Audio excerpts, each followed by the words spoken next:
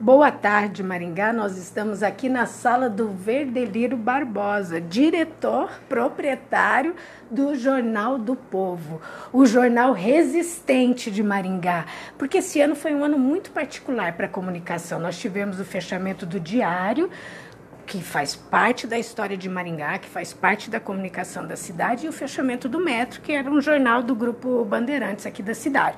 Mas o Jornal do Povo continua em pé. 28 anos de histórias, né, Verdelírio? Graças a Deus. Quero te convidar desde já para a festa, dia 31 de março, a festa dos 29 anos do Jornal do Povo. O que, que ocorre? Eu tenho um jornal pequeno, ah, um jornal enxuto, e tem uma coisa que pouca gente tem eu tenho amigos como vocês que me ajudam, tenho os parceiros que não me deixam na mão.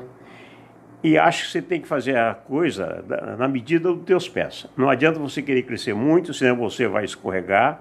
E se você estiver muito alto, quanto você estiver maior na altura, o tombo vai ser maior também. Então, vamos ficar assim, vamos fazer um jornal. A cidade merece um jornal melhor, eu reconheço, merece. Só que ela também tem que ajudar para ter um jornal melhor. É, de Mas... que modo a cidade pode ajudar? Vamos pegar nesse pontinho. De que modo a cidade pode ajudar a comunicação a melhorar? Pode de um monte de maneira. Incentivando, torcendo, colaborando, patrocinando, incentivando.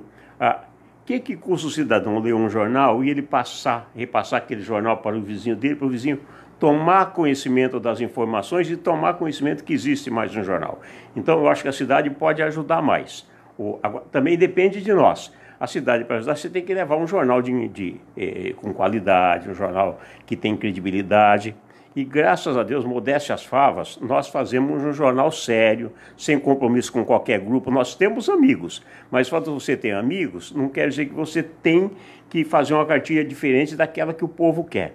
E não adianta, por exemplo, eu me sentir achar que não, porque o MDB é o maior partido da nação, que o PT é, é, é, um grande partido, que o PSDB é um partido ruim. Não é assim. Nós precisamos de todos os partidos e precisamos respeitar eles. Eu tenho ah, com o jornal 29 anos, 28 anos é, de circulação, nunca tive problema nenhum, nem com o PT, nem com o PDT, nem com, com a Arena, com o MDB. Por quê? Porque nós fazemos um jornal sem isenção. A nossa obrigação hoje é informar.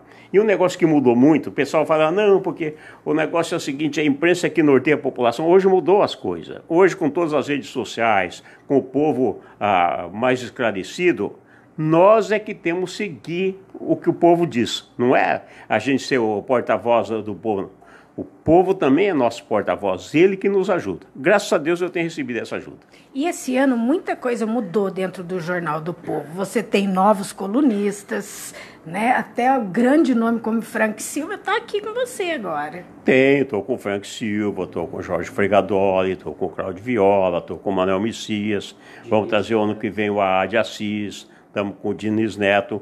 Isso uh, deu uma outra força ao jornal. Agora, é, é, é, bom dizer que eles acrescentaram, mas a equipe, o time que nós tínhamos vinha jogando bem, tanto é que esse time jogou sem esses astros durante 27 anos. A gente não pode deixar o pessoal de lado. Mas nós queremos crescer ainda mais. O ano que vem, sem dúvida nenhuma, nós vamos ter novidades. E hoje quem está comandando a sua redação? A minha comandante é a minha filha, a Daniane, que está aqui comigo. Ela tem o meu espírito sabe o que, que eu penso, até porque é minha filha, e, e, e leva bem. Nós estávamos contatados até recentemente. Agora, aqui é o seguinte: outro dia a Daniana entrou de férias e entrou aqui o Zanata. Tocou bem, porque o nosso time é bom, o nosso time é coeso, o nosso time não tem vaidade. Ó, oh, eu sou o grande jornalista. Não, aqui todo mundo sabe que ele tem a função dele. Aqui não tem grande nem pequeno. Nós temos um time médio e cada um sabendo o que, que tem que fazer. E quais são as novidades do Jornal do Povo para 2020? Uma delas é que a gente vai trazer o Rádio Assis, que é a maior referência no jornalismo de Maringá. O Assis já passou, foi redator-chefe da Folha do Norte, foi redator-chefe do Diário, foi chefe é, da, da comunicação da, da UEM, é um homem experiente. E eu preciso trazer o ano que vem alguns setores novos, inclusive o agronegócio. Já tive alguma conversa com o Rogério Reca, não sei se a gente fecha com o Rogério, mas alguém vai ter que vir. E a gente tem que mudar sempre. Nós vamos fazer alguma mudança. Não, em verdade, nós não vamos mudar. O que está certo, está certo. Nós precisamos acrescentar. E é isso que nós vamos fazer o ano que vem, sem dúvida nenhuma. E o nosso papel como jornalista e comunicadores na cidade é observar a cidade, como ela se move, a política, o social. Como você avalia Maringá nesse último ano? Maringá é uma cidade diferenciada. Se você pegar Maringá, Curitiba, Londrina, Londrina já foi uma baita de uma cidade, ganhava da gente de goleada. Hoje não. Hoje Maringá está na frente de Londrina num monte de setores. Porque, graças a Deus, nós temos uma sociedade civil que entende a função dela e a função da cidade. Ela soma muito. Mesmo que você tenha ah, uma administração que não seja boa, que não seja ah, aquilo que a gente esperava, que o povo espera, mas a cidade complementa essa administração. E às vezes o que, que ocorre? Você pega determinado setor que você espera muito dele e que falta um pouco de embalo, e aí chega o administrador, chega o homem público que também dá essa força. E eu acho que o que a gente precisava, em verdade, era valorizar mais os nossos homens públicos. É muito fácil você criticar o político, dizer que o político não trabalha, que o político quer só levar vantagem, mas não é assim, não são todos assim. Graças a Deus, é uma minoria que é assim. O resto não são homens decentes, que se preocupam com as coisas da cidade, que traz recurso para a cidade. E a cidade precisa valorizar mais isso. Volta e meia você encontra o cidadão, não, porque ah, o, o, deputado Ricardo Barros só quer levar vantagem, só quer colocar a família dele, porque o pessoal do PT quer mandar em tudo, porque esse pessoal do PSD está aí só porque o governador é, é, é do, do, partido dele, esse pessoal está no PSL por causa do, do Bolsonaro. Não é assim, gente. Eu acho que o cidadão, quando se detém, quando ele resolve fazer política, é porque ele quer servir. Até porque aqui entre nós, se você for fazer uma análise direitinho, o cara fala, não, o cara está se servindo do cargo. Todo político ele perde financeiramente. Você pega os nossos vereadores, que aqui entre nós, é, mais por covardia deles, né? É uma vergonha uma Câmara de Maringá ter esse número reduzido de vereador, quando poderia ter 23, e o vereador ganhar só o que quer. O cara, o, cara, o vereador ganha hoje 7 mil reais. Isso não é salário para um representante, um homem público que vai lá se dedicar o seu tempo todo. Alguns podem, porque tem outros afazeres, e outros estão pagando para trabalhar. Isso também não é justo. É, tem muita coisa para mudar.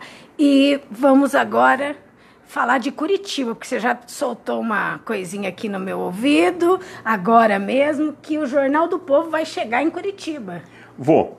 O que, que acontece? Nós servimos a diversas cidades da, da nossa da MUSEP, algumas cidades fora da, da, nossa associação, mas nós temos que mostrar para a capital que o Paraná tem jornal e Modéstia Savas não um grande jornal, mas tem um bom jornal, porque o Jornal do Povo não é porque é meu, não. É um bom jornal.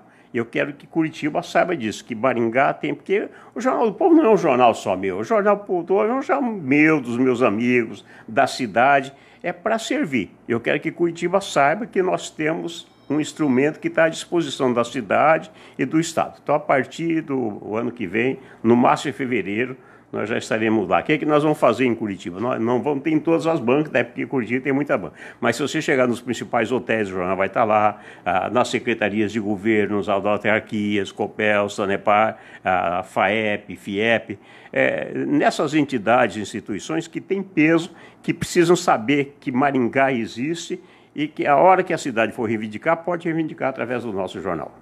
E nós também queremos agradecer o Verdeliro, que abriu as, muitas portas para o Fato Maringá, que está chegando devagarzinho na cidade, e desejar tudo de bom para 2020 e um Natal repleto de amor, paz e alegria para você e para sua família. E manda sua mensagem para a população de Maringá. Vocês são muito modestos. O fato não está chegando. O fato chegou, o pessoal sabe que vocês existem, conhece a tua linha, sabe da seriedade que vocês atuam.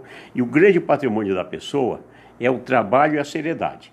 Vocês têm isso, o resto esquece. Ter dinheiro não adianta nada. A gente precisa ter o suficiente para viver, graças a Deus nós temos, porque Deus é bom. E eu quero dizer que nós tivemos um ano bom, com muita paz, com muita saúde.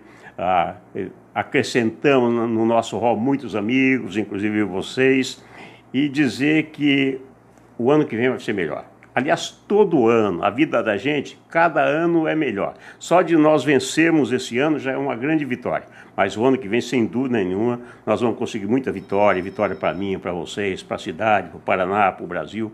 Que o mundo tenha mais paz e a certeza de que Deus existe, sempre esteve conosco. E agora, nesse Natal, é hora da gente agradecer por tudo que nós recebemos. E mais do que isso, agradecer porque nós sabemos, temos certeza de que vamos receber muita coisa ainda do Senhor nosso Salvador. Um beijo a todos. Ok. Verdelírio Barbosa, Ligiane Ciola e José Carlos Leonel para o Fato Maringá.